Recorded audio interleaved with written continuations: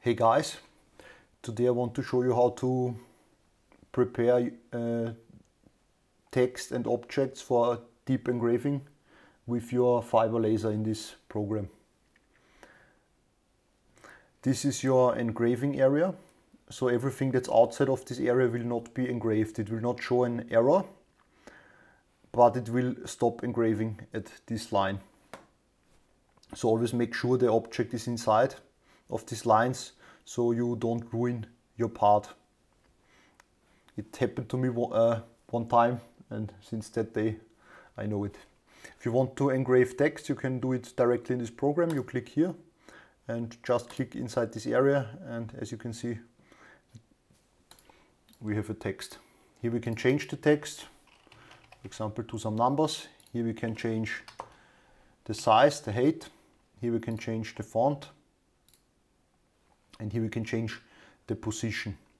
That's uh, useful because when we type in 0 and we say apply, then the left upper edge is at the position 0 and in reality at your laser you will have a, a red point here. So it's very easy to align the part with the engraving. If you want to have the engraving in the middle you can change here the uh, position that will be where you can type in the coordinates. When I press OK you can see the it shows me the the position of the middle of the text. When I change this to zero the middle of the text will be in the middle of the engraving area. Apply. As you can see it's in the middle. So now our text is set up for engraving. When we press now mark the laser will just engrave the thin outlines. We will not get a deep engraving. To get a deep engraving, we have to choose the object. If we have several objects in this area, we can do some deep engraving for one object and for the other object not. So you have to choose the preferred object and press H. Here we have the settings for the hedge.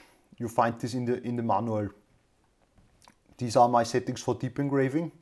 What super important is the auto rotate angle because the laser engraves in, for example, the horizontal direction.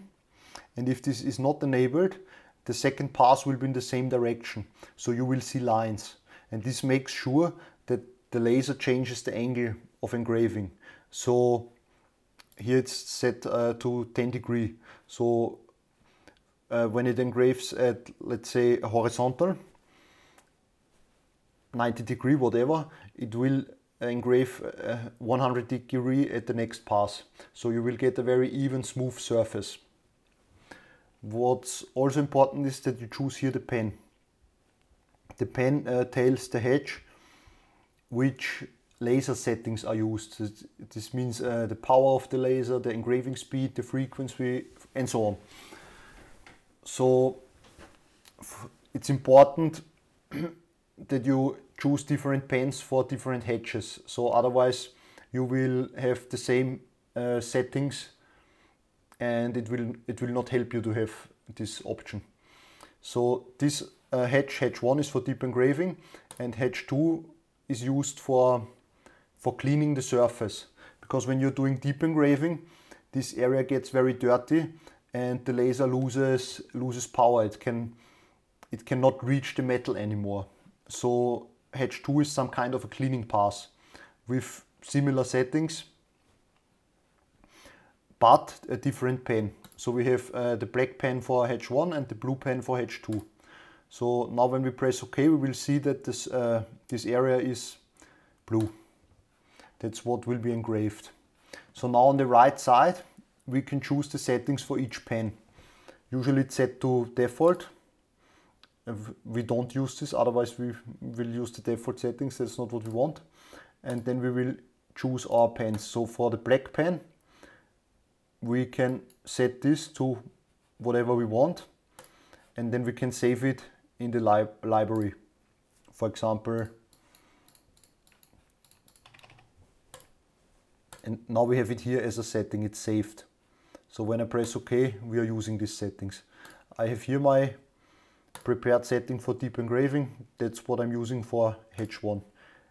As you can see, low speed, high power, frequ frequency at 40. For, for the cleaning pass, I'm, I'm using my cleaning settings. As you can see, it's a much higher engraving speed and, and less power. So it, it cleans the surface. If you just want to have a white marking that's not deep, you can also use these settings, but you find this in the description of the manufacturer. So when we press now mark, this will be engraved. Ah, what I forgot to say, uh, at, at mark loop, we can adjust the number of passes that the laser makes. So usually I'm using like three or five for the deep engraving and, and two or three for the cleaning pass. That works best for me. But you can play with these settings. As long as you don't move the part, you can play around with the settings and, and it will always engrave exactly the same at the same position. If we want to engrave a logo, it's basically the same.